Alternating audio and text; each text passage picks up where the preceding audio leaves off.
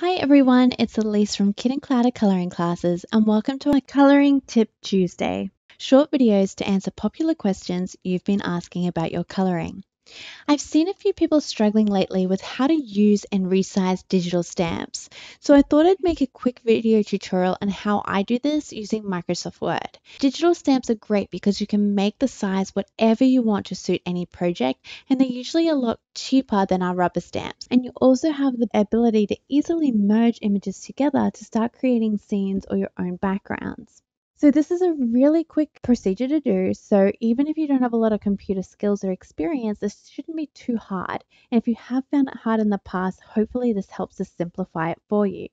Now, if you are using an Apple computer or device, you'll be using Pages, which is a very similar program to what I'm using here, but some of the controls might be in different places.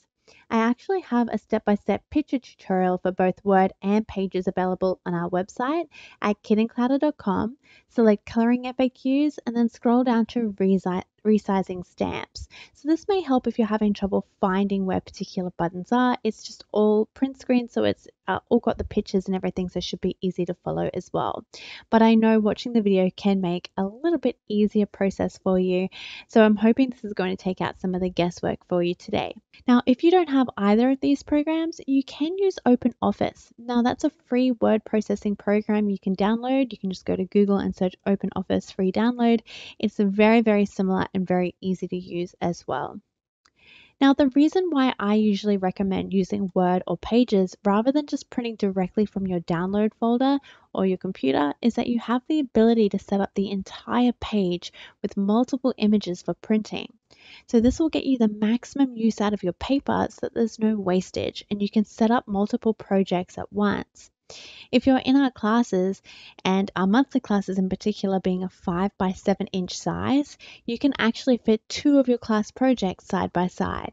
That's really great to do because then you get two copies to experiment and practice on, which can take away a lot of the pressure for getting things perfect the first time around because you've got those extra copies to really practice and play with.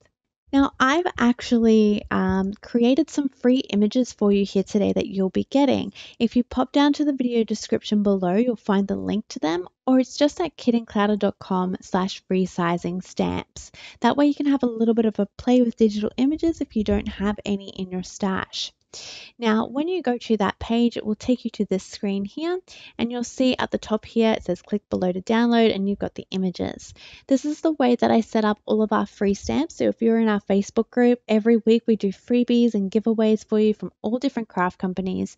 This is how easy it is to use. You come to this page, it says click below to download, and you can just click each file that's there, and it will just download that straight to your computer. Now, um, it will usually default to go to your downloads folder on the computer unless you've specified otherwise. But if you ever have questions about that and you're having trouble navigating, please feel free to ask. I'm always happy to help with any technical questions because once you're shown once, it's super easy and you just know for next time. Now, on some devices, clicking these may not do anything. Uh, if you've got extra security set up or some firewalls, it may uh, the buttons may not be clickable. In that case, I've also given you this direct link here to go to Dropbox. Now, so if I click this, it's going to open this window here. Now, what Dropbox is, it's just an online storage website. So all it is is I've put the images on my Dropbox and you're just downloading them from me. There's no need for you to have a Dropbox account. You don't need to worry about the program or anything. It's just the place that I've stored the images on because you can't give someone something to download without having it being hosted on some website. So this is where my images are hosting. And all this was back on the website is basically like a quick preview of that Dropbox folder. So if it never works, just click here to go straight to the Dropbox. And all you need to do, see at the top right of the page, it says download. You just click that and it'll download the file straight to your page. Now, if it has multiple images in it, it will usually download as what's called a zip folder. So if I come in here and I click the download, this is like the little downloads bar on Google Chrome. So I selected show in folder and it's just popped up here. Now a zip folder, what that is, it's when multiple images are compressed into one folder for download. So it makes the file sizes a lot smaller and easier to send. So if you ever see this, sometimes when you buy digital images from a stamp company, it may come in this folder because they're trying to give you, say, five different files at once. And to send them all by email would either require multiple links when not a lot of um, shops allow you to do that online, or they may be really big file sizes because the stamp companies are trying to give you really good quality uh, images. So if you see this, all it means it's zipped up together, so we just need to unzip it to use it. So you right click it and you can see the words extract. You just click extract and I just click OK and you can see it's just made the open folder. Now it just uh, usually automatically opens like this, but you can see here, this is the zipped folder and this is the open folder. There's no zip here on it.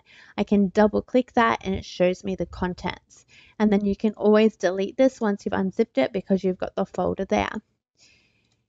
Now, if you don't like doing it, it's a little bit confusing for you. When you come to Dropbox, what you can do is actually select each image that you want to download. So you can click on it to open it up.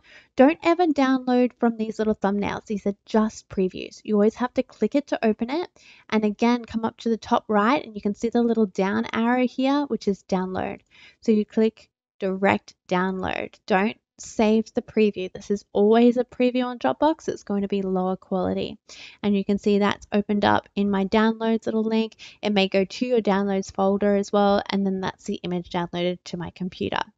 So that's firstly how you download your images. Now let's show you how to resize them in Microsoft Word. So I've got my Word document open here already for us here we are. Now I've got one of the newer versions of Microsoft Word. If you're in one of the older versions, the controls may be slightly different, but it essentially does look very much the same. If you do have trouble, again, feel free to ask, but you can also Google some of the options I'm talking about. So if you can't find, say, the insert button for your version of Word, you can always go to Google and type where is insert button, Microsoft Word version 93 or something like that, and it's going to show you exactly where that is. Okay, so resizing stamps, super easy. This is all you need to do. So I've got my page set up here already. You can see this is a full page. I just come right up to the top here where it says insert. So I click that and you can see these are all the things you can insert and do.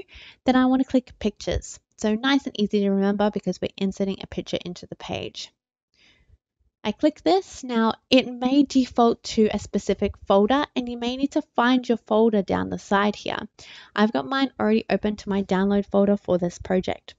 Now select the image you want to do. You can either double click it or just select it and insert and then it will just come straight up on the page. Now you can see that I've easily put the image on the page, but maybe I don't want it so big or maybe I want multiple images on this page. Now, the problem that I see most people have when they work with Microsoft Word is they insert the image, but now they can't do anything with it. You can see here I'm trying to move it around, but it doesn't actually move on the page. This is because on Word, you have to change the alignment of your objects to be able to move them in and around what would be your bodies of text because this is a word processing program. So to do that, it's very simple. You just right click, come down to where it says wrap text and I just want to change it from in line with text to in front of text. So all I've done is just change the alignment to in front of text and now if I click and I hold my uh, mouse down I can just drag that to wherever I want on my page. On the older versions of Word you may right click and not see wrap text.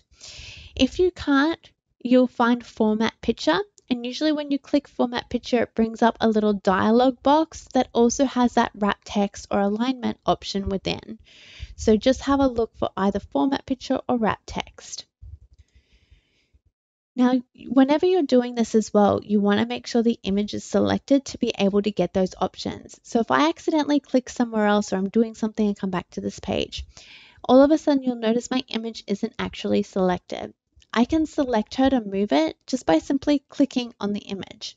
And you'll notice that I get this box around the extent of my image. This is the parameter box and it's showing that my image is selected. Okay, now that we know how to move our image around, let's look at resizing our image. Very simple to do. In this version of Word, you'll notice at the top right that I have the height and width areas under the size box. And all you need to do is you can click one of these and you can type in whatever you like. So I want 10 centimeters. Mine's automatically set up to centimeters. So if I type 10, it's going to recognize that as centimeters and just change that automatically for me. Now I do have this set up at the moment that my height and width are adjusting together. This is called constraining your proportions. So if I change one dimension, the other dimension's automatically going to change with it. So I keep all of the sizing and constraints set up here. So if I change this to 5, notice it doesn't look any stretched or any flattened. It's keeping that same size of the image there.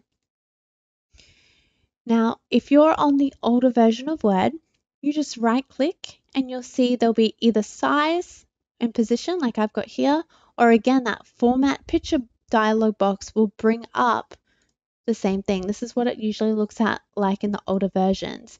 You have size here and then it's the same thing. You have the height and the width. Now, in the older versions, or if you're having trouble keeping that ratio, you'll notice here it says lock aspect ratio. This is what's making that height and width change together. So if you're finding that your images are looking like squished or stretched when you change them, that may not be selected. So I'll show you what happens if I deselect that. So I'm going to deselect that and change this to say 10 Okay, so see how she's really stretched there? And the reason for that is I didn't have that constrained proportion on. So when I changed one of the dimensions, the other didn't change with it. It stayed at what it was originally. Now, if you make a mistake and you don't know what to do, just press Control, hold, hold it down on your keyboard, and then press Z or Z, and that will undo your latest action. You can also see at the top left here the little arrow pointing backwards. That's an undo button and the arrow pointing forward is a redo. So redo, I'm all stretched, undo, I bring it back. So that way if you make a mistake and you go, oh no, I don't know what I've done, Control Z or the arrow pointing back at the top of the page. Have a bit of an experiment with that if you are new to using Word. Make some mistakes on purpose and try going back and undoing them, just so it becomes familiar for you to do. Now I want to change that back to make sure that I um, can change my images without worrying about those proportions. So remember you can either right click the image and go down to size or at the top here where the size box is, you can press a little arrow in the bottom corner and it brings up that same menu. So I'm going to make sure that lock aspect ratio is ticked now and that should make it easy for me to say change and notice here I change the dimension and the whole thing changes together. Now, one other really neat thing about this is that uh, Microsoft Word allows you to play between imperial and metric system with your sizing. So you can see I'm working in centimeters at the moment, but say someone gives me instruction in inches. So I want this to be five inches across. So I'm going to come in here and I can type five and then I've got my little quotation marks on the keyboard. Sorry, I had to press that twice because my keyboard's a bit funny. But you can see five quotation marks, which is the sign for inches. And then I click enter and it automatically translates that into centimeters. And vice versa as well. So if yours is reading inches now, but say someone has given you centimeters, what you can do is just come in and you can type, say, 8 cm for centimeters and press enter and that's going to automatically adjust that but in your inches ratio. So you don't need to go to google and work out what the inches to centimeters measurement is. It's just going to automatically do that for you so it's really really easy. And that's all you need to do to resize the image. So let's just go through that really quickly one more time. I click insert at the top of the page and then I click pictures I choose the image I want to picture. You can either double click or select insert. Remember when you first insert an image, you can't move it around on the page. So I right click and I select wrap text and I select in front of text. Now I can move her to wherever I want. If you're using the older version of Word, right click and you want to go to format picture and you'll find the alignment or the text wrapping options. Once you've done this, just come up to size at the top of the page and you can type in any size you like to resize this on your page. And that's how easy it is to resize an image. Now say you want to set up your page with multiple images. You can just repeat this process by inserting another image at the top of the page.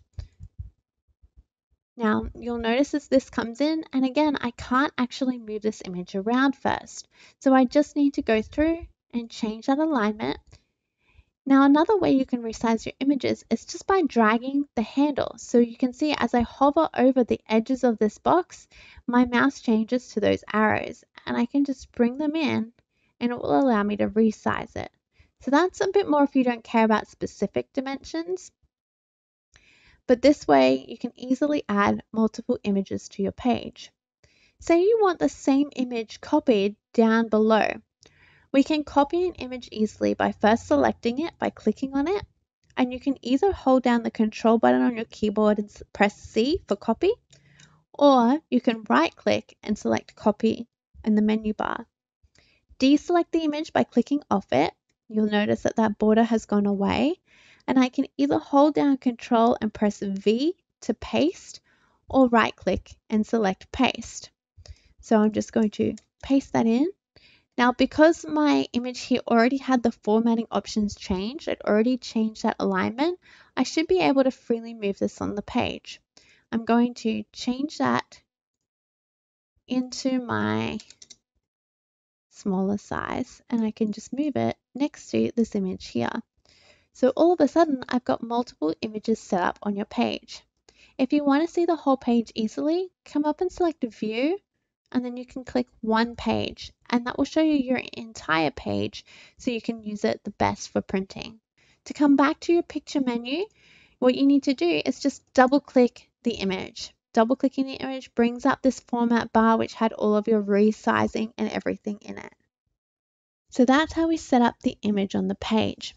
All right, well, I think that's everything here today on how to resize and use our digital stamps. Also, if you do have any requests for different tips or techniques you'd like to see in these little mini coloring FAQ videos, please feel free to get in touch. You can also find more answers to popular questions over on my website at kitandclowder.com and select Coloring FAQs in the menu bar. You'll also find our coloring classes under the shop tab and there are freebies there for you to play with as well. Thank you so much for watching and happy coloring!